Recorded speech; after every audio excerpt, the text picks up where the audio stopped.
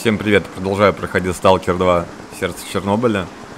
Пробежался по сюжетной линии чуть-чуть, побегал так по локациям. Настроил, тут вышли фиксы, изменения. Тут хоть частота кадров стала в локациях, там где много NPC или большая детализация.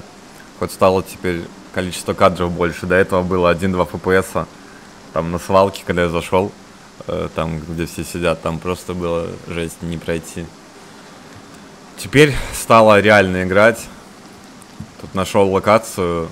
Тут э, урчали кровососы. Вроде бы два штуки даже. Сейчас проверим искусственный интеллект.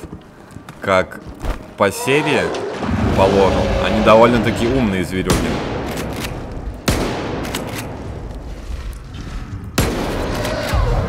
Вот. Тут они научились орать как мой кореш пьяный. И типа стюнет звуковой волной.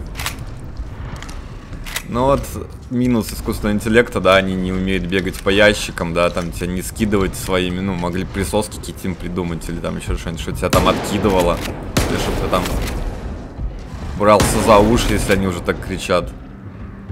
Ну тактика тут простая, ну, потому что они вдвоем тебя просто застанет и забьют своими клешнями, там, лапами, что у них там есть, щупальцами.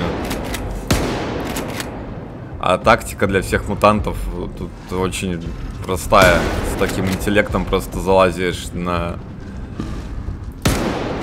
какой-нибудь уступ, ящик и отстреливаешь эту дичь.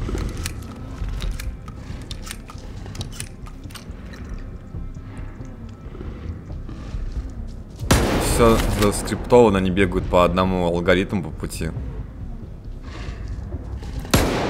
До этого я валил кровососа один на один в честном поединке, но это было довольно-таки тяжело. Все.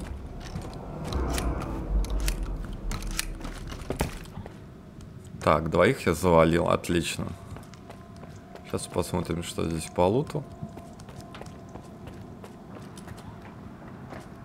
Книжка, станок, так.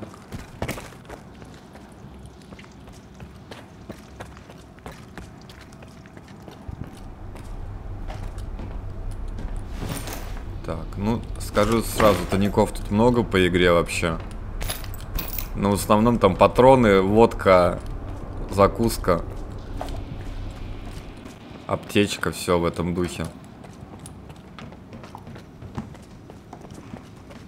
Честно сказать, я ожидал, что будет хуже, а тут чем дальше играю, тем ну, игра дает надежды. Не все так плохо, как показалось в начале.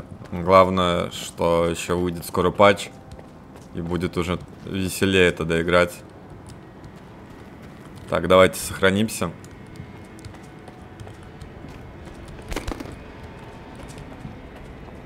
Аптечек раскидано вдоволь.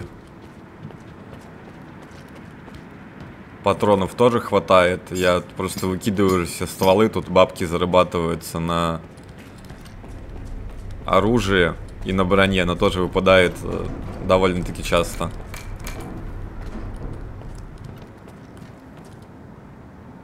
Так, вон лежит броня, сейф. Блин, радиация, да? А, нифига себе, как меня почти скушало. Так, энергетик. Вот еще минус вот этого управления. Я уже столько потерял вот этих радиационных препаратов, когда просто кнопку зажимаешь. Тут, в принципе, система интересная. Удерживаешь Q, тогда он бинтуется. Просто одно нажатие использует аптеку. Бля, вот умер, да? Хорошо, я сохранился. Вот это вот еще одна фишка, да, радиация убивает мгновенно, как будто даже сильнее, чем кровососы. Просто на свалке шаг влево, шаг вправо, там, когда на горе будет миссия, тебя убивает радиация. Ну, просто смешно. Конечно, эти баги, не знаю, надо балансить все это, потому что так оно не должно быть. Так, ну, благо, уже и загрузка побыстрее стала, и не так далеко я отошел от того момента. Э, на будущее, значит, в сейфе там ничего стоящего, значит, нету. Мы посмотрели там что-то патроны, аптечки. А вот костюм нас интересует сейчас. По-быстренькому его заберем и посмотрим, что там.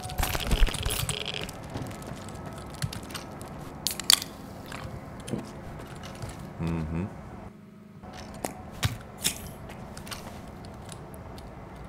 Так, сейчас посмотрим, что там за костюм. Угу. Костюм такой же, как у меня. Его давали за квест.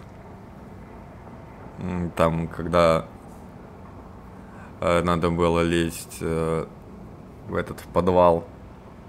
Там тоже по сюжетке будет на выбор. Э, я лично лез там, где это...